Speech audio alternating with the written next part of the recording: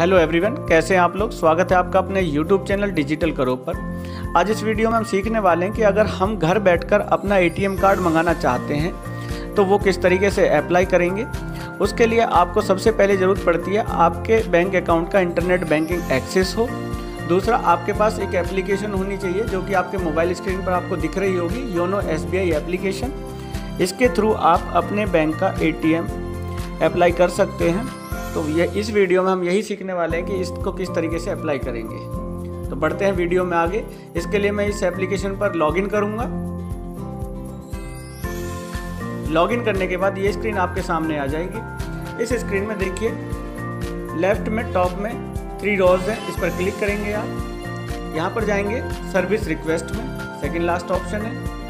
यहाँ के बाद आप देखिए, नीचे लिखा हुआ है लॉन्स फिर है अकाउंट और आगे है ATM public debit card. Third option है, इस पर क्लिक करूँगा। यहाँ पर आपको अपना प्रोफ़ाइल पासवर्ड जो आपको हमेशा याद रहना चाहिए, वो आपको यहाँ पर पुट करना है।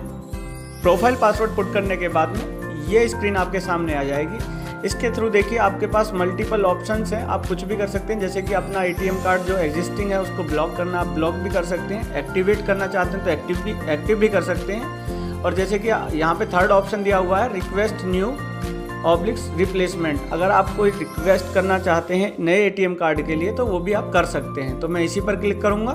जैसे कि हमको नया एटीएम कार्ड चाहिए तो मैं इसी पर क्लिक करूँगा। क्लिक करने के बाद ये स्क्रीन आपके सामने ओपन हो जाएगी। इसमें देखिए, आपसे अकाउंट सेलेक्ट करने के लिए बोलेगा, किस अकाउंट में आपको अपना एटीएम कार्ड चाहिए। तो जैसे कि मेरा ये अकाउंट है, मैं इस पर एटीएम कार्ड चाहता हूँ। यहाँ पर मैं वो नाम लिखूँगा, जो भी मैं अपने एटीएम कार्ड पर प्रिंट करवाना चाहता हूँ। वो आपका रियल नेम के अलावा कोई और नाम भी हो सकता है। जैसे मैं यहाँ पर कुछ भी लिख सकता हूँ, मैं लिख देता हूँ यहाँ पर मोहित करके, ठीक है?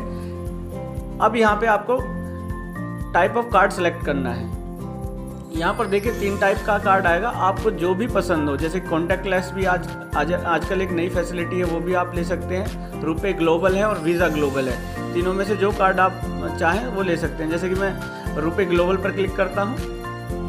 उसके बाद आपको एड्रेस सेलेक्ट करने के लिए बोलेगा, आपका परमानेंट एड्रेस ये रहेगा, दूसरा कॉरस्पॉन्डेंस एड्रेस है नीचे।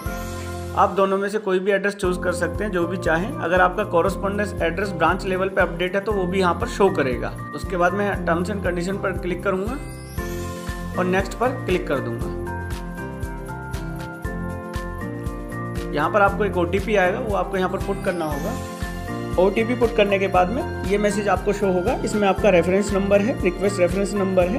और देखिए, इसमें लिखा भी लिखा भी हुआ है। We will be processing your card request with reference number so and so shortly तो मतलब जल्दी आपको ये ए कार्ड आ जाएगा। इसका एक्चुअली टाइमिंग है 10 से 15 दिन में आपके ये होम एड्रेस जो आप भी एड्रेस आपने सेलेक्ट किया, उस पर रिसीव हो जाता है। तो इस तरीके से आप अपने स्टेट बैंक ऑफ़ इंडिया का एटीएम कार्ड घर बैठकर अप्लाई कर सकते हैं। इसके लिए आपको बार बार बैंक जाने की बिल्कुल ज़रूरत नहीं है। ऐसे ही वीडियो देखने के लिए हमारे चैनल को सब्सक्राइब करना ना भूलें। मिलते हैं नेक्स्ट वीडियो में। तब तक के लिए थैंक यू वेरी मच